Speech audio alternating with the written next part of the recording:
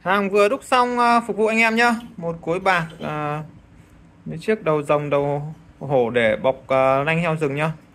Đây là vòng tay long tranh hổ đấu này và long và song long Chế nguyên con rùa ở trên để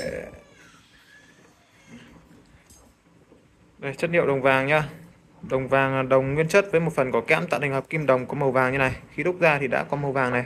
Sản phẩm không xi mạ nên sẽ không sợ phai màu nhá. Khi chỉnh màu thì anh em thể dùng chanh để đánh lại được. Anh em quan tâm các sản phẩm trang sức bạc hay trang sức đồng bên mình thì có thể à, nhấn vào giỏ hàng để tham khảo thêm. Vâng, xin chào và hẹn gặp lại anh em ở những video tiếp theo. Xin chào.